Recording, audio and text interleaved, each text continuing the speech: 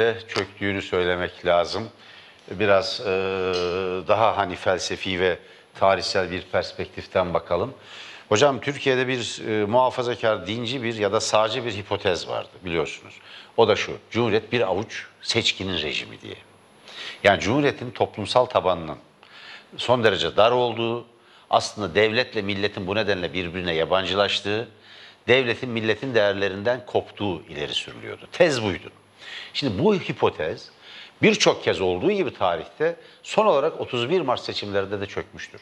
Bu o kadar çok tekrarlandı ki bir genel kabule dönüştü çünkü bazı liberal, muhafazakar ve gerici çevrelerde. Bu büyük bir yalandır. Bu hayat tarafından birçok kez yanlışlanmıştır. Durum şu. AKP'ye oy veren seçmenlerin önemli bir kısmı da Cumhuriyet'in değerleriyle kavgalı değildir. Cumhuriyetin değerleriyle barışıktır onlar. Yani Cumhuriyetin tarihsel kazanımlarından rahatsız olanlar son derece dar bir topluluktur. Mesele de budur zaten. Siyasal İslamcı hareket, şeriatçılar ki Türkiye'de e, yüzde 8 ila 12 arasında bir e, ne diyelim bir tabanlarının olduğu e, tahmin ediliyor. Böyle varsayılıyor. Bunlar kendi taleplerini bütün milletin talepleri gibi sunmaya çalışıyorlar.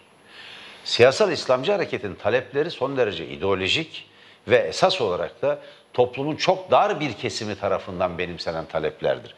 Geniş din, dindar kesimler tarafından kabullenen e, tezler olmadığı gibi talepler de değildir. Şöyle bir varsayıma dayalıyor. Türkiye'nin %98'i Müslüman ki de o da çok tartışmalı. %98 neye göre %98 bu belli değil. Hangi Müslümanlık anlayışı? Yani birçok mezhep var, birçok e, inanış var ve e, Türkiye'de herhangi bir dine mensup olmadığını söyleyenler var. Ateistlerin oranının %10 civarında olduğu belirtiliyor birçok şeyde araştırmada. Hatta bir araştırmada AKP'li bir kamuoyu araştırmacısında %13 civarında çıkmıştı. AKP'nin sayesinde bu daha da arttı. Deist, ateist bunların toplamından söz edebiliriz. Dolayısıyla bu kavram da çok e, tartışmalıdır ama Türkiye'nin büyük bir bölümü Müslümandır. Yani Alevi Müslüman, Sünni Müslüman neyse.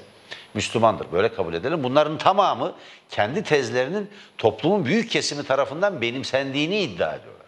Bunlar dar bir siyasal İslamcı kadronun ideolojik talepleridir. O ideolojik taleplerle milletin değerleri ve ihtiyaçları arasında bir ilişki yoktur. Bu seçim bir anlamda da onu gösterdi. Cumhuriyetin sosyal tabanının zannedilenin çok ötesinde son derece geniş ve etkin olduğunu ortaya koymak bakımından da bir ders niteliğindedir diye düşünüyorum hocam.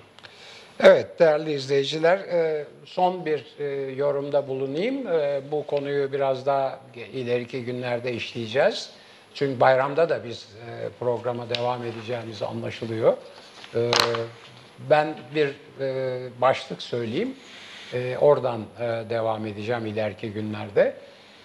Aritmetik dağılıma baktığınızda aritmetik dağılıma baktığınızda bu 31 Mart seçimlerinin aritmetik toplamının ve sonuçlarının 14 Mayıs, 14-28 Mayıs e, seçimlerinin sonuçlarından çok da farklı olmadığı ortaya çıkıyor. Onu toplama çıkarma yapınca göreceksiniz. Gayet net. Dolayısıyla CHP'nin bir zafer sarhoşluğuna kapılıp da bu seçimlere giderken ilan ettiği hoşgörü, laiklik, demokrasi gibi ve halkın isteklerine kulak vermek gibi bir takım e, vaatlerden vazgeçmemeleri bir.